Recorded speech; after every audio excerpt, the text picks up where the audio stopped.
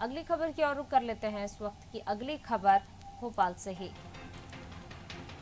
Bihar, UP के बाद MP में सबसे ज़्यादा बाल श्रमिक मिले हैं। सात लाख से अधिक बच्चे दूसरे राज्यों में मजदूरी कर रहे हैं। साल भर में सिर्फ़ 150 बच्चों को ही रेस्क्यू किया गया है। प्रदेश की एनजीओ की कार्यप्रणाली पर सवाल उठे हैं।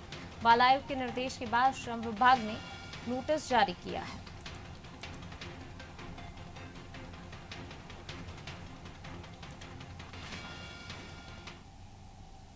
और ज़्यादा जानकारी के साथ विवेक जी लगातार बने हुए हैं। विवेक जी, बिहार, यूपी के बाद एमपी में सबसे ज़्यादा बाल श्रमिक हैं। सात लाख से अधिक बच्चे दूसरे राज्यों में मजदूरी कर रहे हैं।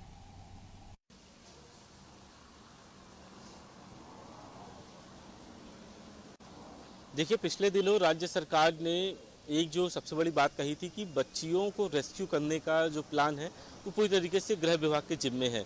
लेकिन बाल श्रमिक को किस तरीके से रोकना है, यह श्रम विभाग के अंतर्गत आता है और पिछले दिनों राष्ट्रीय बाल आयोग की तरफ़ से श्रम विभाग को पत्र लिखा गया है और ये कहा गया है कि श्रम विभाग के साथ जो एनजीओ मिलकर काम करते हैं, उनका काम बेहतर नहीं होता है और इस यही नतीजा है कि पिछले एक साल में सिर्फ़ 150 बच्चों को ही रेस्क्यू किया गया है और सबसे ज़्यादा जो टॉप फाइव में जो राज्य है, जहाँ सबसे ज़्यादा बाल मजदूरी होती है, उसमें मध्य प्रदेश भी शामिल है। यूपी बिहार, झारखंड, राजस्थान के बाद मध्य प्रदेश है। उसके बाद सिलसिला जारी है, पश्चिम बंगाल है, उड़ीसा है, कर्नाटक है। ये तमाम जो राज्य हैं, इनमें सबसे ज़्यादा बाल मजदूरी के मामले सामने आते रहे हैं और जो ठेका प्रथा की व्यवस्था है, जो छोटी छोटी फैक्ट्रियाँ हैं, यहाँ पे सबसे ज़्यादा बाल श्रमिकों का इस्तेमाल होता है।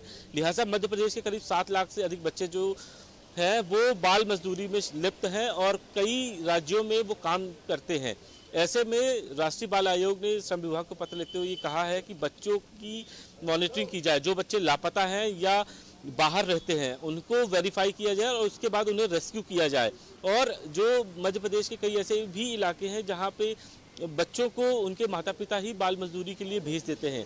तो वहाँ पे एनजीओ को सबसे ज़्यादा काम करने की ज़रूरत है। लिहाजा श्रम विभाग भी इस बात को लेकर संजीदा हुआ है और एनजीओ को नोटिस जारी हुए हैं। उन्हें ये पूछा गया है कि आखिर आपकी कार्यप्रणाली कहाँ तक पहुँची है? आखिर किस तरीके से बच्चों को कर रहे हैं? और अगर सात लाख से अधिक बच्चे मध्य प्रदेश के बाहर दूसरे राज्यों में जाके मजदूरी करते हैं तो उन्हें रेस्क्यू करने का क्या प्लान है? और इसके बारे में एनजीओ के पास क्या जानकारी है? इन तमाम विषयों को लेकर श्रम विभाग ने जो है वो एनजीओ से बात भी की है और जो सक्रिय एनजीओ हैं जैसा कि जो एक सबसे बड़ा एनजीओ के साथ एक मिलकर काम करता है पूरा रेलवे का महकमा है और आरपीएफ जीआरपी ये सभी मिलकर काम करते हैं।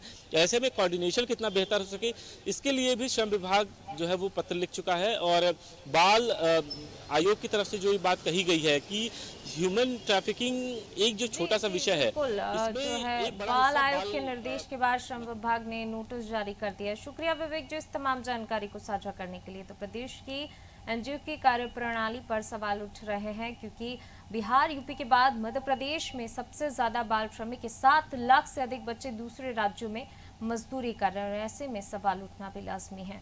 चलिए, फ़िलहाल इस बुलेटिन में बस इतना ही। और खबरों के लिए देखते रहिए अनाती टीवी। नमस्कार।